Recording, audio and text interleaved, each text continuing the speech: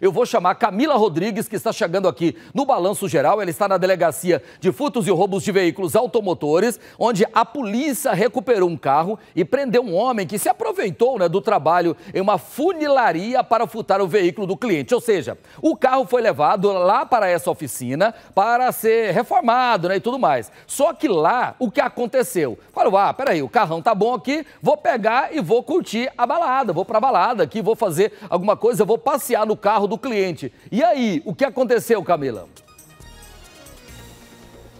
Ele foi preso, né? Porque ele furtou esse veículo, ele se aproveitou ali de um momento de distração que o patrão saiu para pegar uma garrafa de café e acabou furtando esse veículo que era de um cliente aí dessa oficina mecânica. E aí ele deu uma justificativa até estranha aqui para a polícia, viu, Lores? Ele disse que estava insatisfeito. Esse funileiro que é o Agnaldo José, ele disse que estava insatisfeito. Ele é freelancer, tinha sido contratado há poucos dias aí por esse empresário. Ele já tinha trabalhado com esse empresário há cinco anos anos atrás, também como freelancer, então o empresário tinha uma certa confiança nesse homem, no Agnaldo, e contratou ele novamente para prestar serviços ali. Ele aproveitou, então, depois de alguns dias de contratado, aproveitou, então, esse, essa saída do patrão para poder furtar esse carro. Né? E o que, que ele estava fazendo com esse carro? A gente volta aqui agora a falar com o delegado Gil Bataus. O que, que ele estava fazendo com esse carro e o que, que ele alegou para a polícia? Uma certa insatisfação, foi isso que ele justificou? É, ele foi contratado como freelancer e o pagamento ele era diário e em dinheiro. Mas, segundo ele, ele estava se sentindo lesado é, da forma como ele estava sendo remunerado, aproveitou que o patrão tinha ido buscar uma garrafa de café né, na casa dele e subtraiu o veículo da vítima.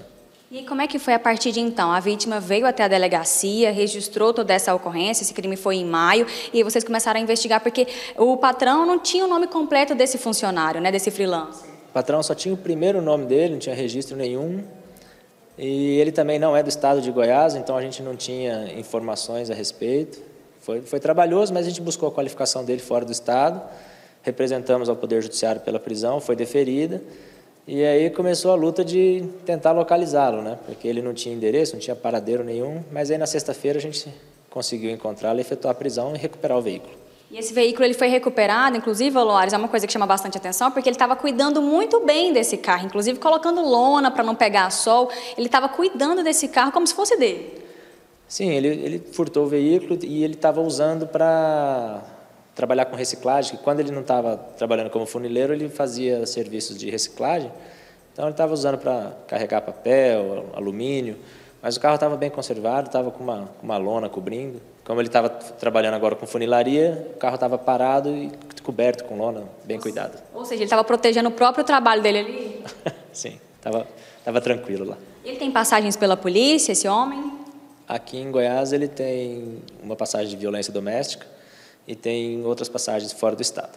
E o veículo foi encontrado e entregue, então, para o verdadeiro dono, né? Algo que aí, inclusive, o proprietário, que é de origem humilde, né, estava muito preocupado justamente com isso, né? Porque ele é simples.